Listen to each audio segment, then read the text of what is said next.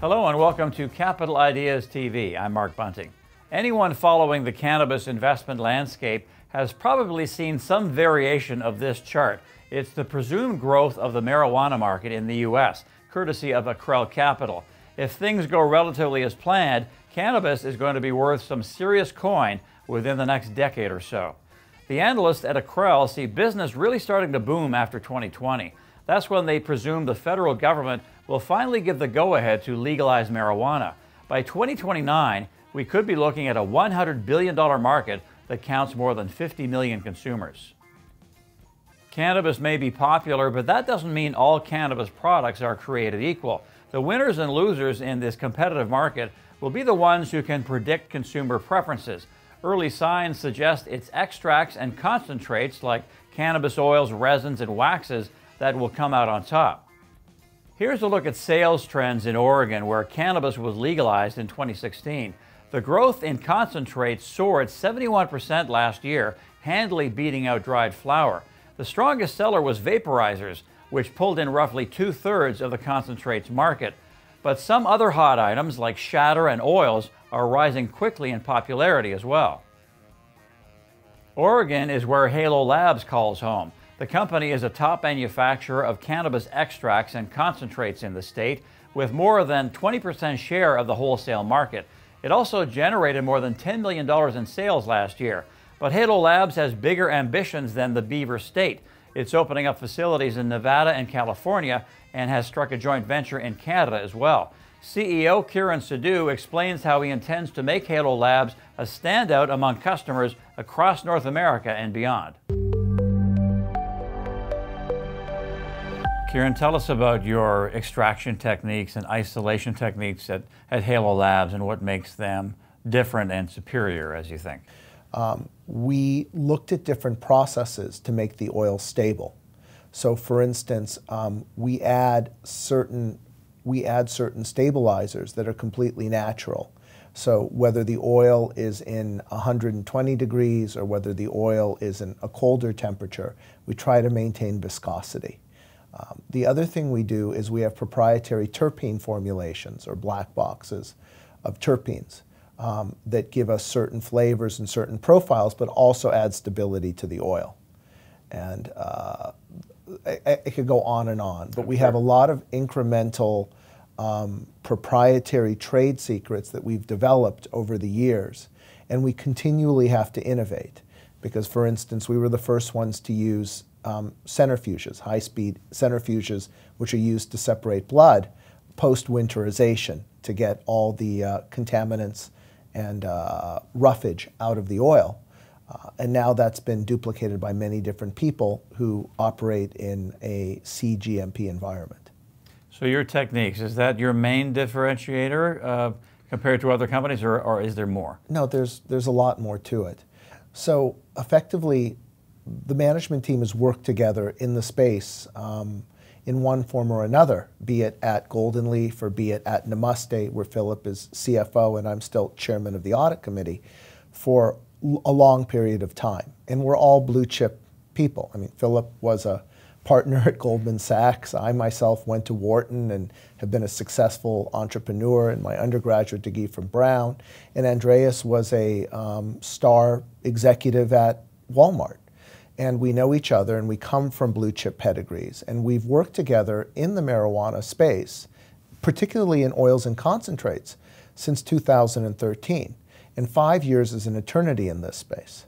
So A, it's the team, B, it's our techniques, and then C, it's, it's also our zeal, meaning that we keep focus on oil and concentrates. We don't many people in marijuana are aggregating multiple assets and acquiring multiple end-to-end um, businesses.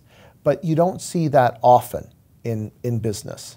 You know, people have to specialize in different area. Either you specialize in cultivation, you specialize in manufacturing, you specialize in distribution, or you specialize in dispensing.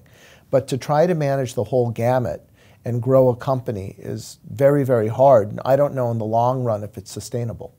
Now, currently, uh, you specialize in Oregon. We'll talk about Nevada and California in a while, but you have about 20% of the uh, Oregon extractions market. So Uh, tell us about that and, and, and how do you go about uh, building that? Well, you know, I, I say if you can make it in Oregon, you can make it anywhere. Oregon is the toughest market because it's a, it's a free market. So there are probably active over 100 extractors in Oregon that we compete with.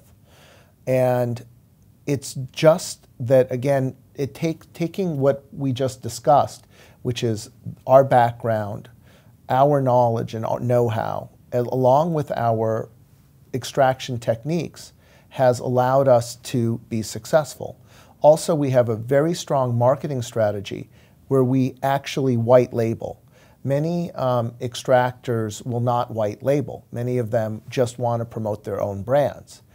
Um, our first and foremost focus is, again, being manufacturing centric, is to is to put push grams out the door. And we've pushed 2.5 million grams since our inception, since April of 2016. And uh, so white label is very important, and it's also very important in the fact that from a regulatory standpoint, we don't know where things are going to go, especially with brands. So will it be, you know, dispensaries that are the big brands? Will it be the farms that are the big brands? We really don't know. So when the one thing I can tell you about the marijuana business is nothing is certain. and so white label also gives us tremendous flexibility. And then with our own brands, we have an opening price point strategy. So for instance, we have very high-end distillate vape cartridges with Exhale, but we make sure that in that segment of the market, we're positioned lower than any of our competitors. In the middle range, we have Hush. Again, we make sure that we're positioned. So when a consumer comes into a dispensary and they want to purchase a product and they want to try, they want to try for the product they want at the lowest possible price point. If they try and they're happy, they repeat. And so that's how we get brand stickiness.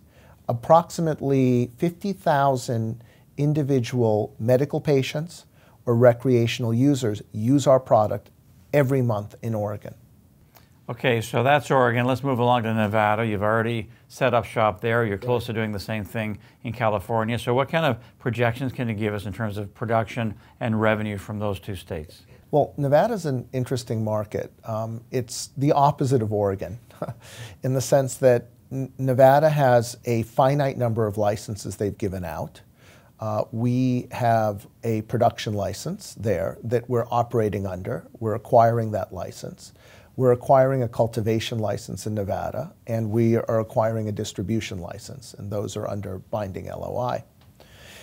And Nevada, you have actually an undersupply. So the constraint in Nevada is not so much um, the demand side, but it's the supply side of the equation.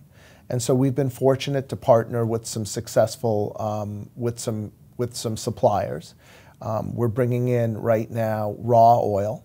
We're formulating it to, again, our proprietary standards and selling it. Inevitably, we will be cultivating in Nevada, and more cultivation will come online, which will allow us to do end to end extraction. Uh, so I would hope that Nevada, by the first quarter of this year, will be doing equal to Oregon. Um, and and I, I'm fairly confident that we'll get there. And then California, a huge state, right. bigger than Canada. California is yeah, at least 30% larger than Canada, and you can probably fit the entire population of Oregon easily within Los Angeles County, um, and not to include all of Southern California. So, in, in practice in California, we should be doing substantially more revenues.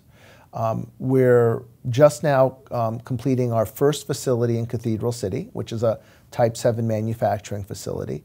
We already have a contract for all the oil we can produce, um, which we think will be uh, about 70,000 grams a week. Uh, all of that is already contracted at a 40% locked margin. We already have contracted supply. So in California, for us to do to be successful, uh, we need to execute, and we're very good at executing. And if we execute, then we have a locked in, probably, you know, I would, I would have to say 4 million of revenue a month, and I hope to achieve that in California um, by November. So in a perfect world, you know, we would have about 5 million of revenue by November and growing probably to 6 to 7 million in Q Q1. And then looking out to uh, 2019, Kiran, you're looking at tripling Halo Labs revenue to nearly 90 million. So Correct. is that all about execution? And, and, second part of that question is, what kind of margins are you looking at? Okay. We are a rollout. We are a heads down. We have a certain culture that we try to impose and we roll out. So if we execute, if we continue to execute and the market continues to grow, um, we can easily achieve those numbers. I th would think that the only thing we would have to do next year is add Northern California. And we're already in discussions about adding a facility in Northern California, and again, white label contracting with key dispensaries in Northern California. If we add that unit and the other units grow, that number is actually a conservative number because we would enter the year with probably 60 to 70 million run rate. So we'd just have to increase it by another 20.